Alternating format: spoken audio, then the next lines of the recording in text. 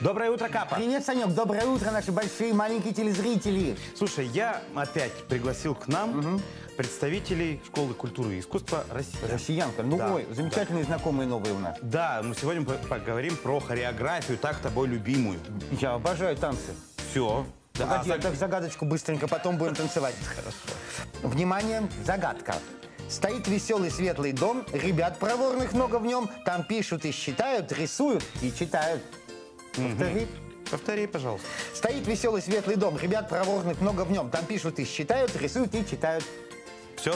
Присылайте правильный ответ, получайте приз. Все сами знаете прекрасно. Ну а теперь представляем, вот директор школы Галина Юрьевна. О, здравствуйте. Здравствуйте. Здрасте. Ну и сейчас нам представит, кто же к нам пришел. Вот эти замечательные маленькие хрупкие балеринки. Да, к нам пришли представители отделения классический балет. Так. Алена Юрьевна, Кожухова, педагог. Здравствуйте. И наши маленькие воспитанницы. А как их зовут? Алена Юрьевна, представьте. Самая маленькая у нас Кира, ей 5 лет. Так.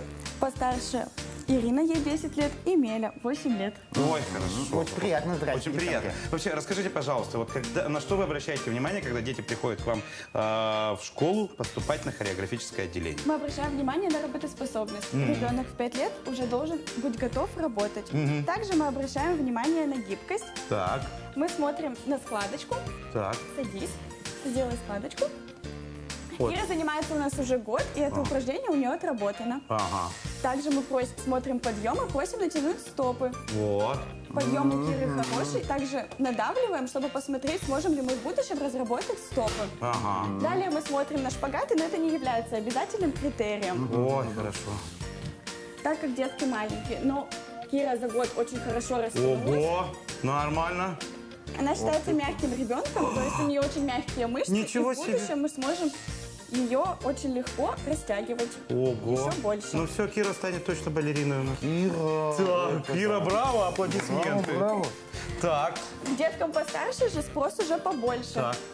Девушки на ком? Э, В первую очередь мы смотрим на их фигуру, на сценичность, как они себя преподают. Также мы смотрим на спину. Чтобы не было сколиоза. Да, на, на наличие каких-либо патологий. Кроме хореографической карьеры, я также получаю высшее медицинское образование, и поэтому мне сразу все видны проблемы. У Мели очень хорошая спина, Ой. готовая к работе. Класс, класс. После Вот этого повезло, мы смотрим повезло. на их подъемы. Вытянули ножки. Сначала мы оцениваем подъем визуально. Нога должна быть максимально натянута. Далее, как я уже говорила, слегка надавливаем, чтобы проверить возможность развития подъема дальше. Слушайте, как все серьезно у вас? Да, не просто тебе. Вот. Ну все, что ли? Дальше проверяем шаг в сторону. Проверяем это, мы эластичность мышц, насколько нога свободно может подняться вверх. Ого. При этом опорный бок должен стоять ровно. Ровно прямо, да? Да. А бедро не должно подниматься. Мгм. Стопа должна быть вытянута. Я раньше капа так мог. Сейчас уже нет. Также мы проверяем, смотрим шаг назад, и для этого мне нужна ваша помощь. Так, давайте я помогу вам. Что мы делаем? О, держись, Держите. пожалуйста. Держись. Да. Спинка ровная должна быть, бок не выпускает, колено должно быть прямое, стопа натянута. Смотрим также, насколько максимально высоко мы можем поднять ногу. Да, балет это тяжкий труд.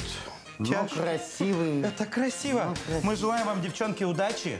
Давайте все помашем камеру. Удачи, Пока-пока. удачи и Спасибо. успехов. Пока-пока. Пока-пока.